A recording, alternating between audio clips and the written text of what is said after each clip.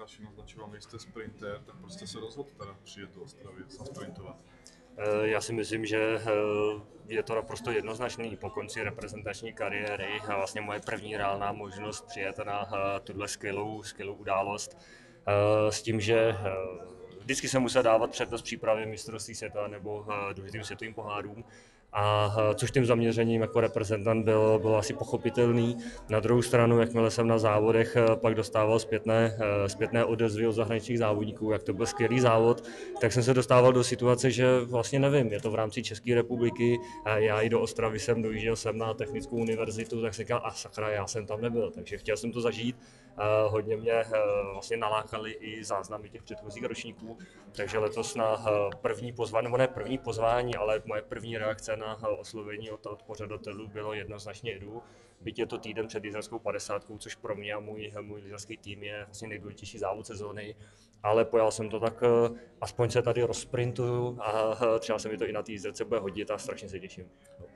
Máte tady z toho týmu vlastně kolegy? Eh, my jsme, my jsme do posledních chvíle zvažovali, že nebudu já jediný vlastně reprezentant týmu, ale eh, oba čeští závodníci, jak Adam Fellner, tak eh, zejména Honza Šrol, že by se tady ukázali. Bohužel oni, my jsme teď měli velmi těžký měsíc, kdy každý víkend jeli minimálně 60 km závod, tak jsme se nakonec rozhodli, že nebudou tady startovat právě s ohledem na jízdeckou 50.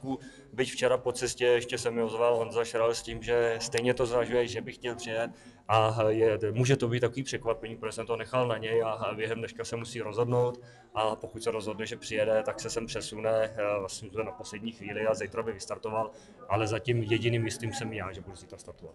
Máte nějaký osobní cíl svůj? Osobní cíl, tak kdyby to byl distanční závod, tak samozřejmě bych se nebál tady, tady vyhlašovat, že bych chtěl závod vyhrát nebo být na stupních vítězů. Pro mě bohužel se jedná o závod, závod ve sprintu, takže mým cílem je neudělat zásadní ostudu, ten závod si užít a samozřejmě co nejvíc se prokousat od kvalifikace dál do těch, do těch rozjížděk, ale bohužel jsem realista a pokud nebudu, nebudu dítě štěstěný, že by přede mnou všichni spadli, jak se i na olympijských hrách občas stalo třeba v rychlobruslení, tak si myslím, že stupně vítězů bohužel mě minou. A čím to je, že máte ty větší dispozice pro ty další tratě a že ten sprint vám tak nesedí? Přemýšlel jsi o tom pro kariéru? No přemýšlel jsem o tom neustále, protože eh, to, co já osobně jsem předváděl ve sprintech, jsem si myslel, toho to můžu asi předvádět úplně bez tréninku a myslím si, že i v rámci distančního závodu, kdyby mi změřili zhruba ten kilometr a půl, co se standardní sprint jezdí, tak ho přece musím jet rychlejší než v momentě, kdy mi řeknou, teď je sprint a sprintu a přijde mi, že čím více snažím, tím jsem pomalejší ale eh, každý to má jak dáno. Eh, třeba Dušan Kožíšek, eh, třínásobný vítěz tady v Ostravě, tak ten zase měl problémy v distančních závodech a taky naližoval strašně moc kilometrů, takže my jsme se doplňovali. On pobral několik medailí i z mistrovství světa v rámci sprintu, zejména tým sprintu a já v rámci distancí a já jsem rád aspoň za tu distanci a uh, samozřejmě v momentě, kdy jdu na takovouhle akci, tak mám tam trošku takový, uh, takový toho červíčka, jako no, ale to já tam nechci, nechci vlád za ostatními, chci, když eh, jsem tam pozván a prezentován jako velká hvězda toho závodu, tak samozřejmě nechci žít z mých distančních výsledků a něco předvíst. Ale je to neustále uh, doufání a připravování se na ten závod, zatím se to úplně nepodařilo, tak třeba tady v Ostravě se to prolomí má Ostrava třeba na to, aby se dostala víš, aby to nebyla ta exibice, protože Martin, že jo, takové nějaké úvahy měl, ale že si to pohár stojí peníze, další trať, všechno. Já si myslím, že všechno, všechno stojí peníze. I tahle exibice určitě není, eh, nebo exibice, budeme říkat, akce není určitě levnou záležitostí a myslím si, že podpory eh, partnerů, které ta akce má, by to určitě nešlo zrealizovat ale asi každý pořadatel, pokud ta akce má výborné ohlasy, jakože Chelsea City Cross Sprint má výborné ohlasy, tak eh, minimálně čas od času pomyslí třeba na úroveň světového poháru. Já si myslím, že eh, ty ambice můžou být i reálné. Otázka je, jestli, jestli vlastně realizační tým eh, to tak stále vidí a chtěl by se o to ucházet, ale samozřejmě znamená to minimálně o řád, o řád větší investice, ale uh, ta akce je tak výjimečná i tím prostředím, že si myslím, že i uh, Světová dílská federace by, by na to mohla velmi dobře slyšet. Chtěl by to podporu toho Českého svazu, že asi? Určitě, eh, co se týká, co se týká žádostí o, o přidělení světových pohárů, tak bez, eh, bez podpory eh, svazu lyžařů by to určitě nešlo.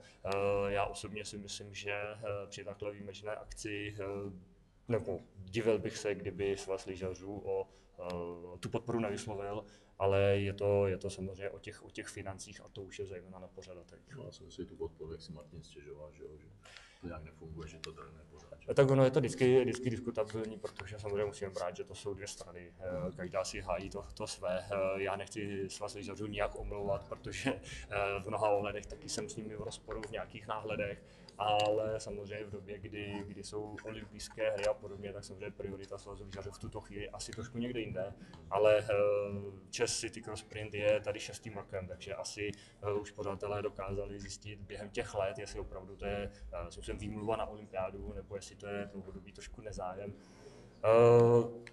Netuším, netuším, eh, já se nechci úplně ani eh, do této otázky za, zabrušit, zatahovat, protože uh, samozřejmě já jsem tady jako závodník, jedu jsem tady poprvé a ty vztahy, ty mi vůbec nejsou známé. Ještě byste to zmínil, jste tady studoval, že vysokou školu jste to udělal po jaké dlouhé době jste teda na Eh, já jsem, já jsem studoval Technickou univerzitu Ostrava, eh, Hornicko-geologickou fakultu, ale eh, na detašovaném pracovišti Most, aby to nebylo úplně, úplně jednoduché. Ale jste tady, vím, ale ano, jezdil jsem sem, jezdil jsem sem pro nutné kredity před koncem školního roku, když jsem nestíhal, tak jsem musel sednout na pendolínu, dojet sem, absolvovat tady zkoušky, a abych mohl s klidnou hlavou projít do dalšího ročníku.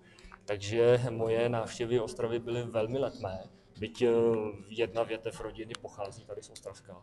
A uh, Svým způsobem tu školu jsem dokončil v roce 2010, takže po eh, docela dlouhé době jsem zde, ale pořád, eh, pořád vyhrožuji s pokračováním, protože jsem zatím, zatím eh, doufám, že zatím skončil na bakalářském, bakalářské úrovni a určitě stejně jak jsem ve sportu šel po těch úspěších, tak i v tom studiu se nechci spokojit s bakalářem. Ale zatím narážím na část a trošku přiznávám i lenost. Pojedete i biatlonovou exibici, tak jak se těšíte? Eh, ano, pořadatelé tady pro mě připravili velmi nabitý program, takže eh, i, i jsem rád, protože pak se v rámci toho sprintu můžu vymluvit, jak už jsem byl unavený z těch všech akcí. Eh, těším se. Těším se, pokud dobře jsem rozuměl, tak se bude střílet laserovými puškami, takže naštěstí nikoho neohrozím. Těším se. Jak jste střelec? Eh, já jsem zkoušel, zkoušel dvakrát koketovat s biatlonem, eh, vždycky na nějaký odpoledne, jednou i dokonce za asistence biatlonového šetra Ondry, Ondry Rybáře, eh, kdy jsem mi celé odpoledne věnoval. Musím říct, že jakmile jsem v leže střílel na stojákový tarče, takže na ty, na ty větší, tak, tak takový tři, čtyři z těch pěti jsem, jsem dával ale uh, nedovedu si představit při, tam přijet, ještě rozpumpovaný z toho, z toho lyžování, teď tam rychle odpálit ty rány a zase běžet dál. Takže myslím, že moje realita uh, s pravou flintou bylo asi rychle to nastřelit někam do vzduchu, od, rychle odjet ty trestní okruhy a pokračovat. A co říkáte tomu, že vlastně biatlon v popularitě přečil to běžecké lyžování? Uh, já si myslím, že několik, několik faktorů tam je. Tam faktor to, že biatlon má výborně zvládnutý televizní přenosy, eh, což si myslím se běžcům eh, o tom může jenom zdát. A to, že eh, v rámci těch televizních přenosů vlastně biatlon je televizním sportem. A já tvrdím to, že pokud se budete na biatlon podívat a budete stát všude jinde než na střelnici, tak moc toho závodu nemáte. Ale ta, právě ta střelnice přináší do toho závodu to napětí, do poslední chvíle nikdo nemá nic jistého, což u toho běžeckého lyžování samozřejmě tady ta nejistota se trošičku vytrácí a uh, samozřejmě pak i ruku v ruce jdou, uh, dejme tomu, výsledky českých závodníků, kdy uh, po konci kariéry Katky Neumanové, mojí a Martina Koukala, tak samozřejmě ty výsledky šly v posledních letech dolů.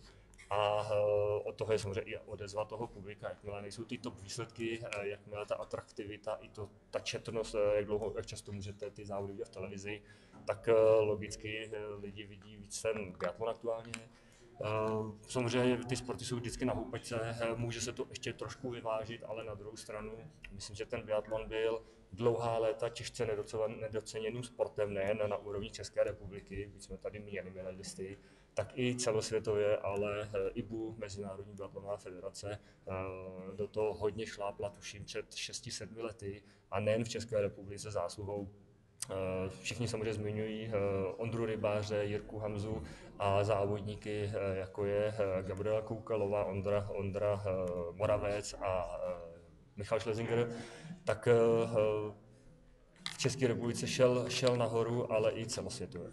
No a myslíte, že třeba tady ten závod Čes City Cross by mohl přispět zase návratu do běžeckého lyžování trošku do většího podvědomí a větší popularitě jeho? Já si myslím, že určitě minimálně regionálně tady velmi zvyšuje popularitu toho běžeckého lyžování, protože jak tady zaznělo, eh, Ostraváci vědou do Beskyt, vědou na Pustevny, vědou, vědou eh, dejme tomu do Jeseníků a teď mají s nich přímo, přímo tady za Humny, eh, aktuálně vlastně na třech, v třech lokalitách a minimálně týden, eh, myslím, že Olympijský park 14 dní eh, mají možnost tady sportovat.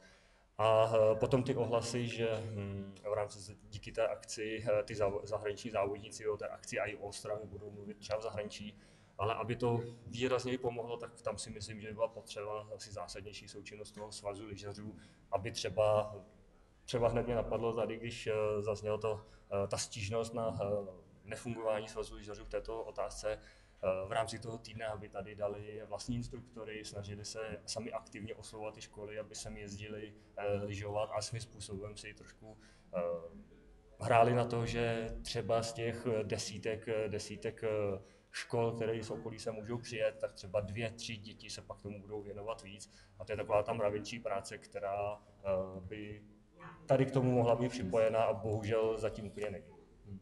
Super. Nás Jo.